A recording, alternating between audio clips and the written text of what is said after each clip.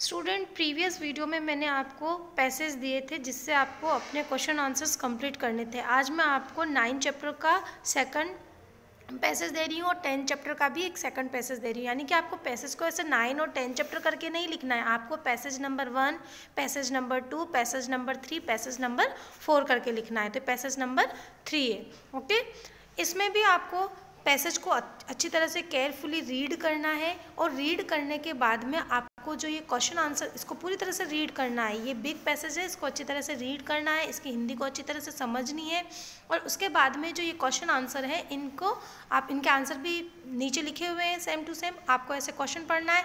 पर क्वेश्चन के answer directly करने से पहले आपको खुद को सर्च करना है पैराग्राफ के अंदर से कि भाई ये क्वेश्चन दिया हुआ है who had become a soldier तो आपको इसको, भाई कौन सोल्जर कौन था?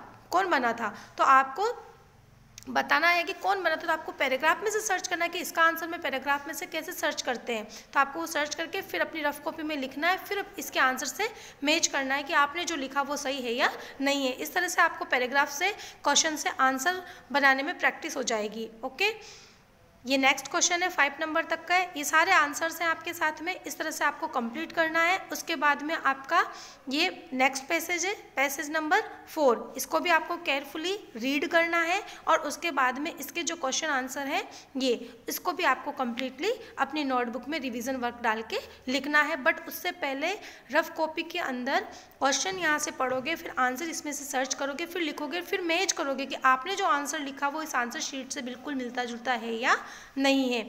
इस तरह से आपको अपना पूरा वर्क कंप्लीट करना है, इन्हें लर्न करना है, इस तरह से आपकी प्रैक्टिस हो जाएगी अपने पैसेज में से क्वेश्चन आंसर बनाने की ओके तो स्टूडेंट आपको इस तरह से अपना रिवीजन वर्क कंप्लीट करते हुए प्रैक्टिस करनी है रफ कॉपी में भी करनी है और सारा वर्क आपको फैट नोटबुक में भी करना है ओके इसका पीडीएफ मैं आपको सेंड कर दूँगी ताकि आपको ये पूरी अच्छी तरह से और भी दिख जाए okay thank you so much have a nice day